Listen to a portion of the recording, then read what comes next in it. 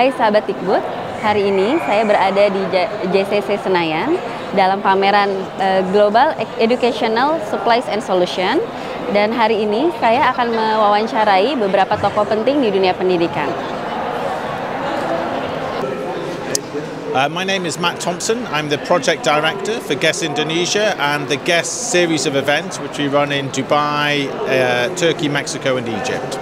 We've been running this event now for five years, and uh, what we've noticed is the way that the Indonesian education system has really developed within those five years and the embracing of digitization. There's a lot of challenges within Indonesia because of the size and scope of the country, uh, and digitization is essential in bringing education to, to everyone.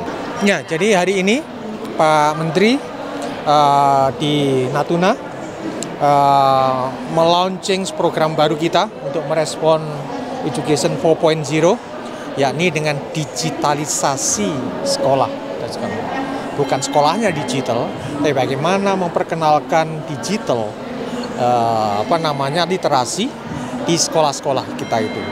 Akan dibagikan pada anak-anak kita di daerah-daerah pinggiran itu uh, tablet uh, dari kementerian yang dari tablet itu anak-anak bisa dengan mudah mendownload, me berinteraksi dengan teman-temannya di mana pun di intinya belajar itu harus bisa di mana saja, kapan saja, dan bisa mendatangkan sesuatu yang bahagia, menyenangkan bagi anak-anak itu. Ya jangan tanyakan apa yang teknologi bisa lakukan untuk anak, tapi hmm. apa yang anak bisa lakukan untuk teknologi.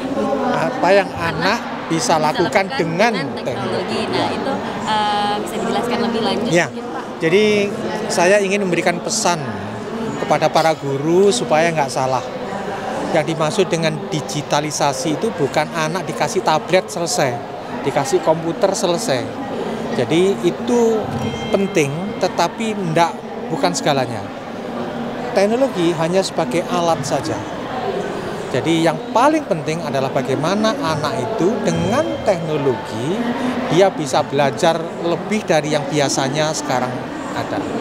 Jadi bukan teknologinya yang memberikan sesuatu pada anaknya, tapi banyak pada bagaimana anak itu dengan alat itu bisa mengoptimalkan passionnya, bisa mengoptimalkan apa namanya talentnya pesannya itu sebenarnya gitu. Ya.